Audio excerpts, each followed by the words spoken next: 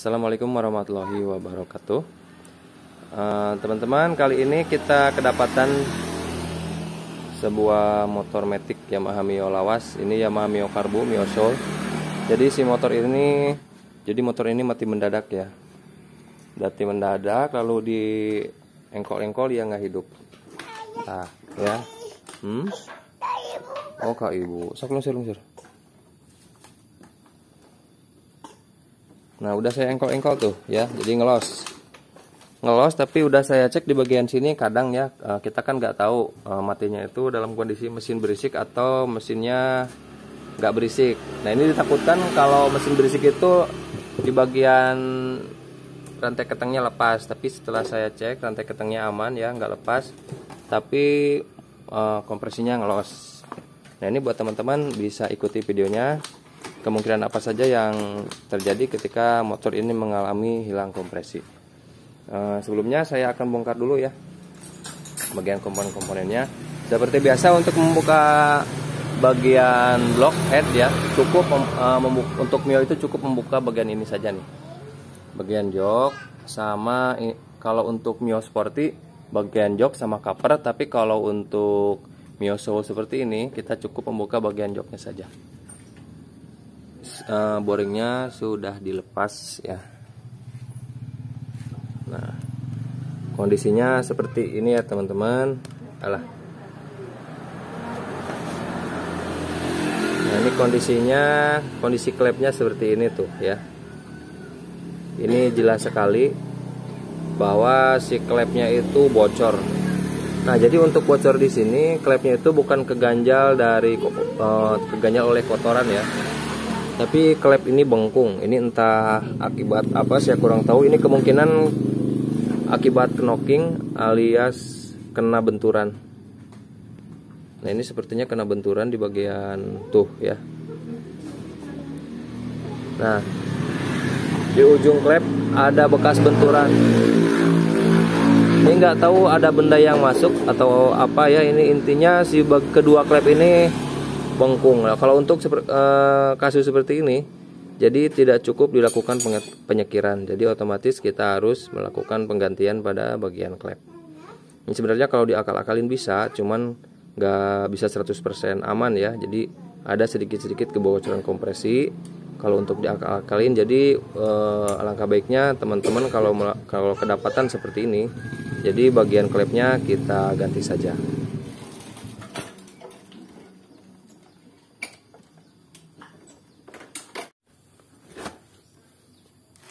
Uh, ini klepnya sudah saya persiapkan jadi sudah saya ganti.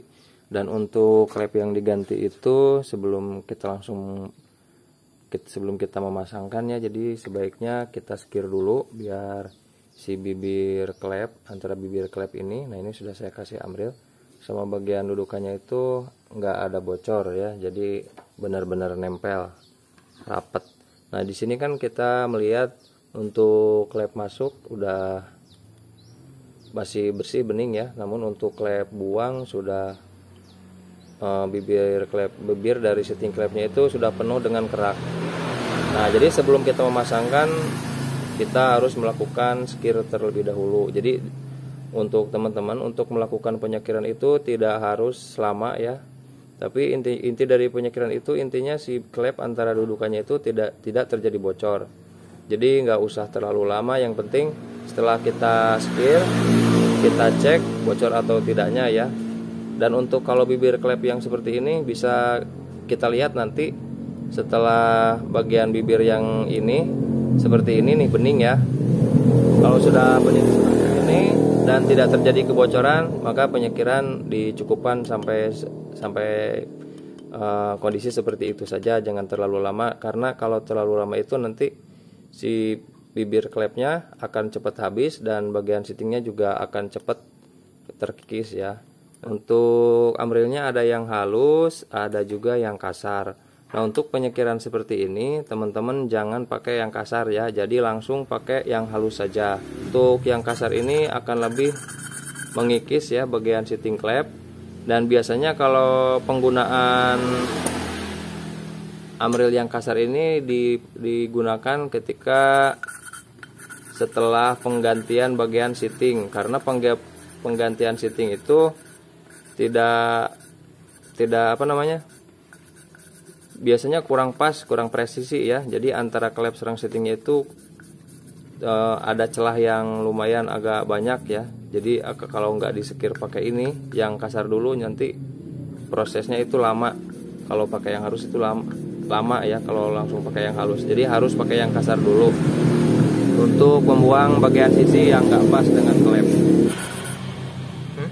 terus tinggal beda sakit sok rata kan kurang halus membuang Nah, sebentar saja ya penyakirannya hanya untuk meratakan bagian bibir klep sama setting klepnya. Ini untuk melihat kerataannya kita bisa lihat dari bagian klepnya ya teman-teman. Nah, ini untuk klepnya kan tuh jadi ada bekas gesekan. Nah, ini bekas gesekan ini adalah uh, apa namanya? si ciri atau tanda bahwa yang nempel antara bibir klep sama klepnya itu jaraknya segini ya ini sekurang lebih satu setengah mili ya satu setengah mili nah kalau ini kalau sudah seperti ini dirasa ini sudah cukup ya sudah cukup tak perlu lama-lama biar nanti klepnya nggak cepat habis yang penting sudah tidak ada kebocoran. Untuk mengecek kebocoran itu bocor tidaknya itu kita masukkan dulu bagian klepnya. Lalu masukkan cairan seperti bensin ya atau bahan bakar lainnya ke bagian ini untuk klep in jadi masukannya ke ini ke bagian manifold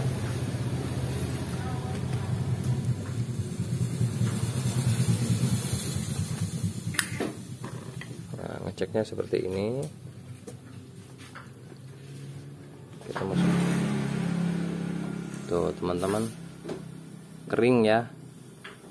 Tidak ada bocor. Kalau klepnya masih bocor uh, nanti bisa lihat di bagian sisi-sisi dari klep ini ada remes ada remes ke bawah berarti itu masih bocor. Kalau sudah nggak ada remesan-remesan nggak ada bocor berarti klepnya sudah aman ya. Kita tinggal melakukan penyekiran untuk bagian klep buang. Nah untuk klep buang itu nanti terlihat ya lebih terlihat karena klep buang itu kotor ya warnanya hitam. Nanti kalau sudah disekir memastikan cukup tidaknya itu nanti si bibir klepnya itu kalau sudah terlihat seperti ini nah kalau sudah terlihat seperti ini dan tidak bocor berarti penyekiran cukup dilakukan sampai di situ saja. Kita bersihkan dulu. Kita lihat kita cek ya. Sudah saya skir ini sekitar 2 atau 3 menit. Kita bersihkan dulu bagian setting klepnya tuh terlihat ya teman-teman. Jadi setelah yang tadinya hitam nah di bibir-bibir dari setting klepnya itu sudah terlihat putih bersih. Nah kalau seperti ini saya kira sudah cukup tinggal pengecekan bagian klepnya bocor atau tidak. Dan kalau tidak bocor kalau sudah nggak bocor berarti penyekiran uh, selesai ya cukup sampai di sini saja nggak usah terlalu lama. Nah kita lap dulu ya kita lap dulu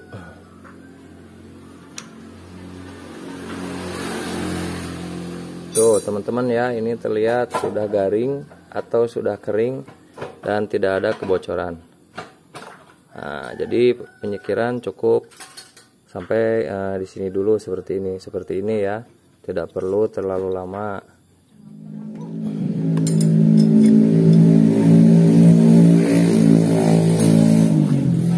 Nah, ya sudah saya pasangkan. Kita akan coba hidupkan setelah melakukan penggantian pada bagian klep. Saya akan hidupkan dulu.